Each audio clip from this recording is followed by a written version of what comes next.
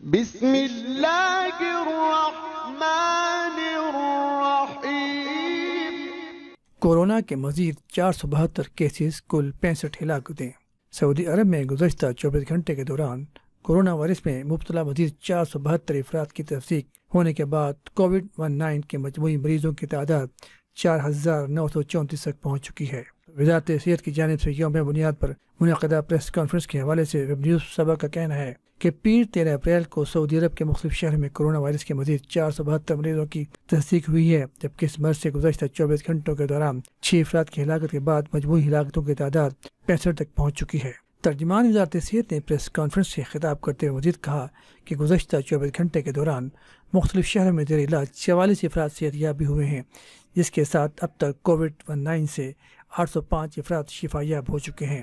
گزشتہ چوبیس گھنٹوں کے دوران کورونا وائرس کے سب سے زیادہ مریض ریاض میں پائے گئے، جن کی تعداد ایک سو اٹھارہ ہے جبکہ مدینہ میں ایک سو تیرہ، مکہ میں پچانوے، جدہ اسی، تبوک بائیس ارر خلیس اور طائف میں آٹھ آٹھ مریض سامنے آئے ہیں۔ خمیس مشید میں مریضوں کی تعداد پانچ رہی، بریدہ میں دو اور ایک ایک مریض انفضا، نجران، سبت العالیہ، الخرج، الزہران، عہد رفیدہ میں ہے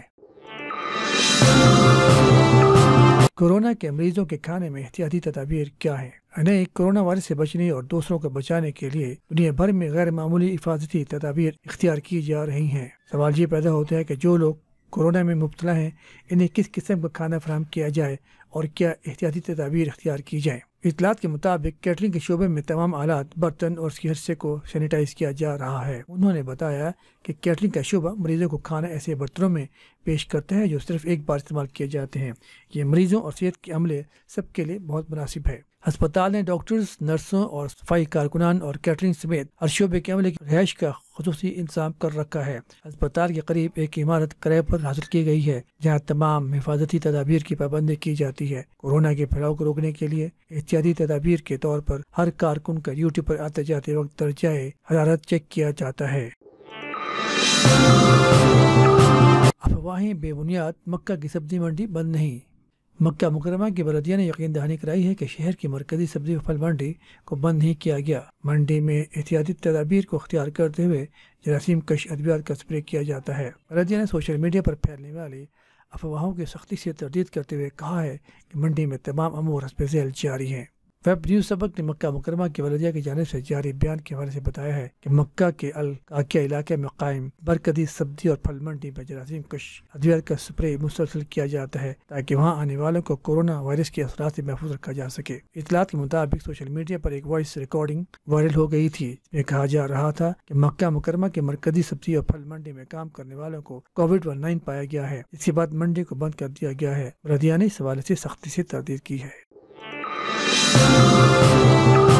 جدہ لیبر کیمپوں کا اندراج مزدوروں کو متبادل رہائش فراہم۔ جدہ بلدیہ نے تجارتی اداروں کو اپنے کارکنوں کو رہائشی کیمپوں اندراج کرانے کا حکم دیا ہے۔ لیبر کیمپوں کا معائنہ اور ضرورت کے تحت متبادل رہائش فراہم کرنے کی مہم شروع کر دی ہے۔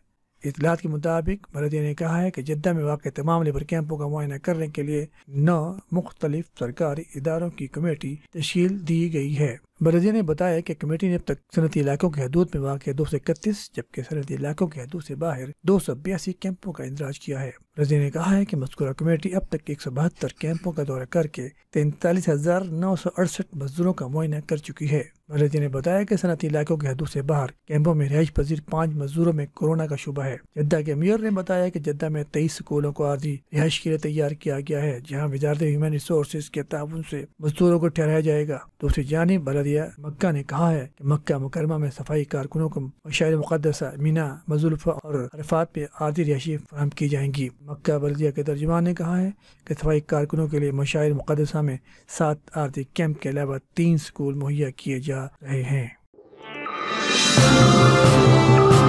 بڑے پیمانے پر کورونا ٹیسٹ کا منصوبہ تیار۔ ترجمان وزارت صحت نے مزید بتایا کہ آئندہ مرحلے میں ملک بھر میں کورونا ٹیسٹ زیادہ بڑے پیمانے پہ کیا جائے گا جس کا منصوبہ تیار کر لیا گیا ہے۔ ریاض میں پریس بریفنگ کے دوران ترجمان کا کہنا تھا کہ پوری دنیا کو یہ اطمینان دلانا چاہیے کہ ملک میں کورونا ٹیسٹ مسلسل ہو رہے ہیں اور ہر روز اس کا دائرہ وسیع وسیع تر کیا جا رہا ہے۔ ڈاکٹر علی نے بتایا کہ جو ٹیسٹ ہو رہا ہے، عام نوعیت کا نہیں بلکہ لیب ٹیسٹ ہے۔ جس سے وائرس کے جین کی موجودگی یا عدم موجودگی کا پتہ چلایا جاتا ہے۔ یاد رہے کہ سعودی عرب میں قرنطینہ اور گھر میں الگ تھلگ کیے جانے والے افراد کی تعداد چالیس ہزار سے تجاوز کر چکی ہے۔ وزارت صحت کے ترجمان نے سعودی شہریوں اور مقیم غیر ملکیوں سے اپیل کی ہے کہ اگر کورونا وائرس سے متعلق اگر کسی کے ذہن میں طبی استفسار ہو تو وہ نائن تھری سیون پر رابطہ کر کے جواب حاصل کر سکتا ہے۔ دبئی میں بے روزگار غیر ملکیوں کے لیے ہنگامی ملازمتیں۔ متحدہ عرب امارات میں مقیم غیر ملکیوں جو نئے کرونا وائرس بحران کے باعث ملازمتوں سے محروم ہو گئے ہیں۔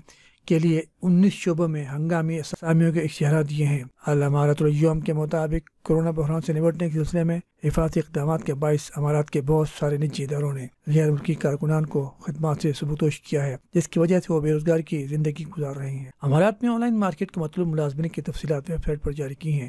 انیس شعبوں میں دسیوں پیشے ایسے ہیں جن پر غیر ملکیوں کی خدمات درکار ہیں۔ ان میں کچھ اسامیاں وہ ہیں جنہیں مستقل ملازم درکار ہیں اور کچھ ایسی ہیں جن پر چھ ماہ کے لیے ملازم مطلوب ہیں۔ تنخواہیں ماہانہ تین ہزار درہم سے لے کر دس ہزار درہم تک کی ہیں۔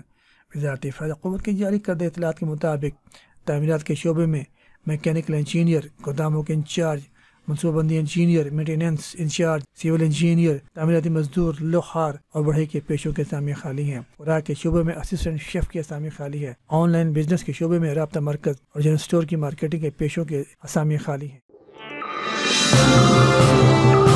صحت یاب لوگوں کی پلازمہ سے دوسروں کا علاج۔ دبئی میں محکمہ صحت کے حکام نے بتایا ہے کہ وہ کرونا وائرس سے صحت یاب ہونے والے مریضوں کے خون سے پلازما لے کر دیگر مریضوں کا علاج کریں گے۔ محکمہ صحت کے حکام نے یہ اعلان اس وقت کیا جب متحدہ عرب امارات نے کورونا وائرس کے شکار افراد کے لیے اس طرح کے علاج اختیار کرنے کی منظوری دی۔ عرب نیوز کے مطابق یہ طریقہ علاج اسی ہفتے کسی وقت شروع کیا جائے گا۔ دبئی ہیلتھ کارپوریشن کے چیف ایگزیکٹو آفیسر کاظم نے بتایا کہ محکمہ صحت نے دبئی کے اسپتالوں میں اس طرح کے علاج کے پروٹوکول متعارف کروا دیے ہیں تاکہ وائرس کی روک تھام کی جا سکے۔